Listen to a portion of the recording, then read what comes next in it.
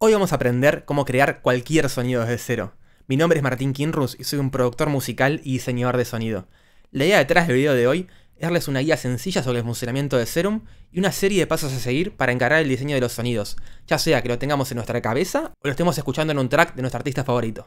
Empecemos. Bueno, vamos a arrancar. Yo acá ya tengo un Serum abierto y lo importante es entender cómo es que el Serum o cualquier cinte produce sonidos que es utilizando osciladores. Ya por defecto viene prendido el oscilador y suena más o menos así. ¿Sí?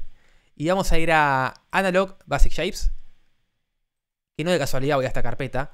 Y no de casualidad está puesto el nombre. Basic Shapes o formas básicas son las ondas más comunes que existen y las más utilizadas. Es probable que más del 90% de los sonidos que escuchamos en nuestro día a día, cuando escuchamos música electrónica, esté formado por una de estas ondas. Entonces es muy importante que ustedes practiquen, las escuchen y las empiecen a distinguir.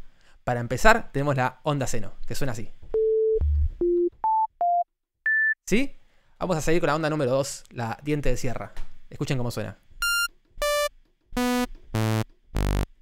Es importante escuchar cómo suena en diferentes eh, octavas o en diferentes notas bien agudas y bien graves. Para que tengan el abanico de posibilidades que le da las diferentes eh, formas de onda. Vamos a seguir con la número 3, que es una onda triangular. Y por último, la cuadrada, que es la que más suena a jueguito. ¿Sí? Ya sé que suena medio fea, pero, pero síganme que vamos a hacer algo muy lindo con esto. Pero yo para arrancar me gustó muchísimo la onda diente de sierra, de hecho es mi favorita. Una vez que elegimos nuestra onda para utilizar, ya sea que es la, la, que estamos queriendo imitar en nuestro track que estamos escuchando o un sonido que tenemos en la cabeza, vamos a ver si queremos que la onda suene así bien simple o queremos que suene bien bien grande. ¿Y cómo hacemos que un sonido suene gigante? Es muy importante entender cómo funciona este botoncito de acá que se llama Unison. Lo que va a hacer es crear varias copias de este oscilador, pero no son todas iguales, sino son el mismo sonido solamente que más alto. Cada copia que está creando, acá las ven, suena... Cada copia que está creando suena un poquito distinta a las demás, ¿sí? Está un poco más desafinada y no tiene el mismo volumen y hace que el sonido suene mucho más grande. Vamos a dejar ahí y pasar a la siguiente etapa. Porque una vez que tenemos la onda y la hicimos sonar tan grande como querramos, es importante entender cómo se comporta esa onda en el tiempo, ¿sí? Y para eso vamos a esta sección del envelope. El envelope nos permite manipular, como ya dijimos, la onda en el tiempo, ya sea que queramos un sonido bien cortito o un sonido bien largo ya que querramos eh, suavizar el inicio, o queremos que inicie enseguida apretamos la tecla, ¿sí? Yo creo que para esto voy a hacer un sonido medio así. Todo eso se manipula desde estos perillas de acá o dibujando, desde el attack, decay, sustain y release. Una vez que modificamos el comportamiento de nuestro oscilador en el tiempo, es importante pasar al tono de ese oscilador. Y para eso vamos a la sección de filtro. Vamos a prenderlo acá. Y es importante pensar si queremos que nuestro sonido sea muy brilloso o muy opaco, muy oscuro. ¿Sí? Yo creo que para este, para este sonido voy a elegir un sonido bastante oscuro. Vamos a hacer un pad para arrancar con nuestra idea. Como les digo, la idea acá no es hacer toda teoría aburrida, sino empezar a hacer un tema a medida que vamos aprendiendo. Yo creo que ahora vamos a pasar a la sección de efectos y ponerle un poco de reverb y un poco de delay al sonido para que tenga un poco de ambiente. Y vamos a hacer eh, un acorde para crear eh, un ambiente que nos guste. Uh, algo así me encanta. Vamos a grabar eso bien rápido. Perfecto, yo con eso ya lo estiro y tenemos, hacemos un loop. Así se va repitiendo en el tiempo, ¿sí? Ya tenemos listo nuestro pad. Pero suena bastante estático, bastante aburrido. Para mí es clave que el sonido evolucione a medida que pasa el tiempo. Y para eso vamos a usar los LFOs. El LFO, imagínenlo como una ola que cualquier perilla en el serum puede surfear, ¿sí? De hecho hice una forma bastante parecida a una ola a propósito, aunque creo que para este sonido mejor hacer un dibujo más o menos así. Y vamos a asignarlo al cutoff. La idea es que la perilla esta siga este dibujo, ¿sí? Vamos a enviarla y vamos a escuchar un poco cómo suena. Escuchen. Me encantó, aunque vamos a hacerlo que lo haga más lento, así tenemos, vamos armando una idea más eh, sólida. Ahora vamos a abrir un nuevo serum para usar una onda cuadrada, que me encantan. Vamos a, ir acá y de vuelta. Basic Shapes. Pero esta vez vamos a elegir la onda número 4. Y Vamos a hacerlo un poco más grave. Para eso vamos a bajar acá las octavas. Y como ya les dije en el envelope, esta vez en vez de hacer un sonido bastante largo, vamos a hacer un sonido bastante corto. Así que el dibujo va a ser algo parecido a esto. Y vamos a mandarlo al cutoff. La idea es que el cutoff, como les repito, siga este dibujito, ¿sí? Vamos a prender el filtro. Uh, me encantó. Y como siempre, un poco de efectos, un poco de reverb y un poco de delay.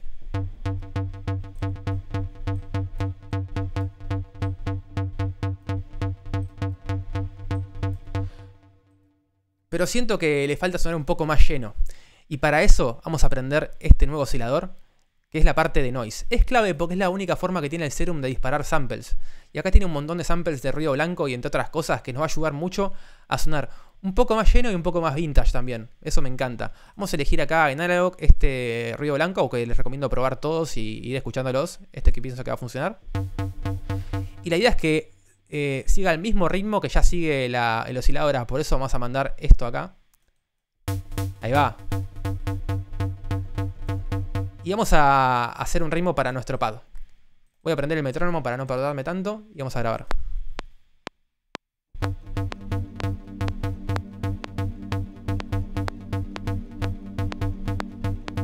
Perfecto. Déjenme cuantizar un poco rápido y acomodar un poco esto. Así ya tenemos nuestro, nuestro onda cuadrada acá. Bueno, acá ya cuanticé, le puse nombre y estiré la onda cuadrada. Pero como le dije antes, la idea es que no esté mantenga estático en el tiempo. Eso es lo que hace el sonido, lo que hace un sonido, que un sonido se llene de vida. Vamos a mandar el LFO al cutoff para que vaya subiendo a medida que pasa el tiempo. Así. ¿Sí? Pero la idea es que lo haga más lento nada más. Y también vamos a hacerlo con, con, el reverb, para que se vaya llenando cada vez más de reverb. Va a estar buenísimo. Y con el delay.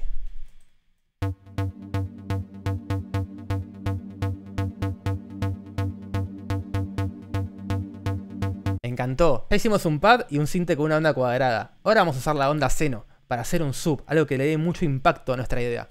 Vamos a abrir un nuevo serum para eso. Y vamos a, elegir de vuelta Analog Basic Shapes.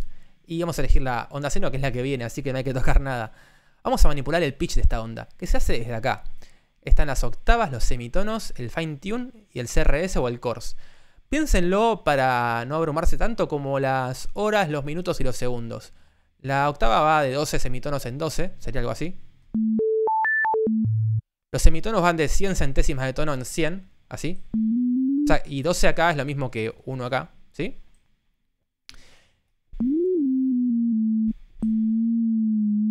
Y el course, que es lo que me interesa manipular ahora, es algo continuo. Hace que no haya pausas ni cortes entre a medida que, que lo manipulamos. Escuchen cómo suena insoportable de escuchar, pero va a funcionar para lo que queremos hacer.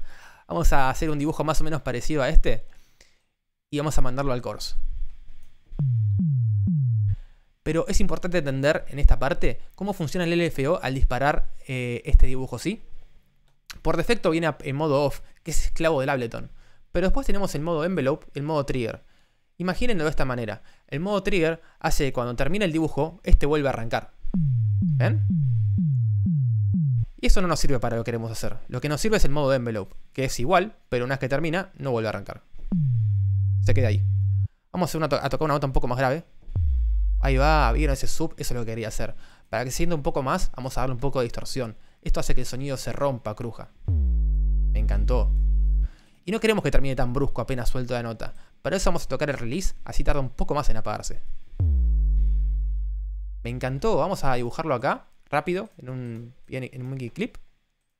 Así tenemos un inicio así más pesado y un poco de graves para nuestra idea.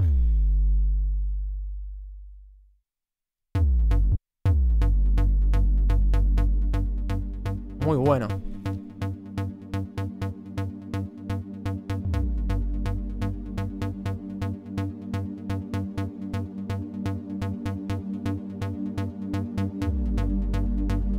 Bueno, ahora para meterle un poco de melodía a nuestra idea, vamos a hacer un arpegio con Serum. Ya sé que el Serum no viene con un arpegiador incorporado, pero vamos a, les voy a dar un tip para crear uno. Vamos a ir a Analog Basic Shapes, elegir una onda diente de sierra. Y vamos a ir al LFO y empezar a manipular un poco los semitonos, ¿sí? Les voy a dar un tip. Manteniendo apretado Shift, ustedes pueden hacer dibujos bastante cuadrados en el Serum. Y vamos a mandar el LF1 a los semitonos y empezar a, dibujar una melodía. Vamos a primero crear acá en el piano roll una nota para que vaya disparándose. ¿Sí? Y vamos a hacer un dibujo, ahí suena feo, pero síganme. Vamos a hacer un dibujo que, esté bueno, que vaya siendo una melodía que nos guste. Vamos a poner esto en en bidireccional para que haya para los dos lados. Así. Vamos a empezar a dibujar. Vamos a ponerlo en trigger, ¿sí? Así vuelve a repetirse.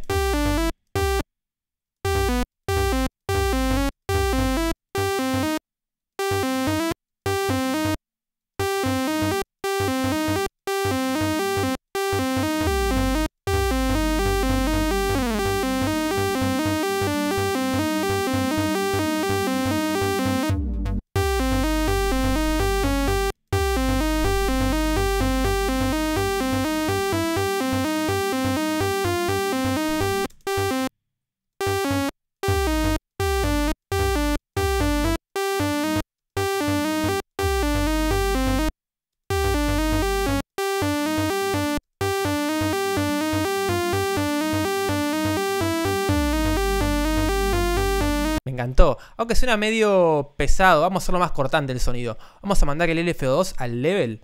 Así el sonido suena mucho más cortante. Vamos a ponerlo en 1.16 y de vuelta en trigger. Así se repite. Con un dibujo más o menos así. Escuchen. ¿Eh? Me encantó. Ahora vamos a hacerlo un poco más apagado. Está muy brilloso, eso es lo que no nos gusta. Vamos a mandar el LF2 al cutoff. Uh, ahí va. Y está muy seco. Un poco de reverb y un poco de delay para acomodarlo.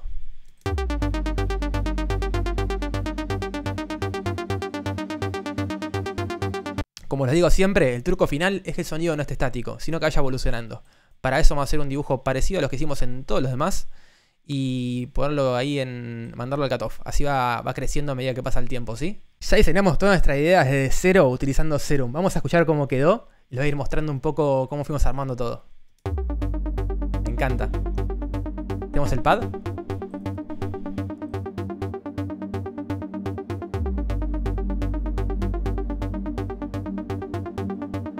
Nuestra onda cuadrada.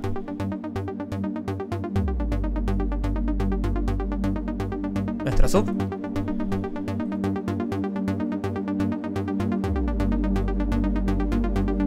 Y por último, la melodía, el arpegio.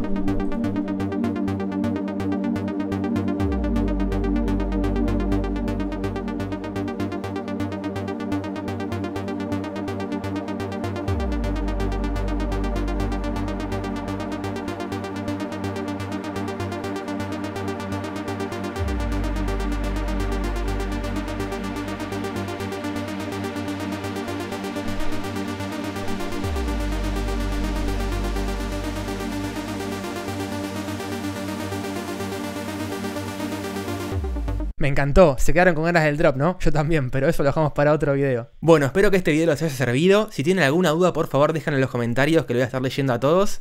Les mando un abrazo enorme y nos vemos la próxima.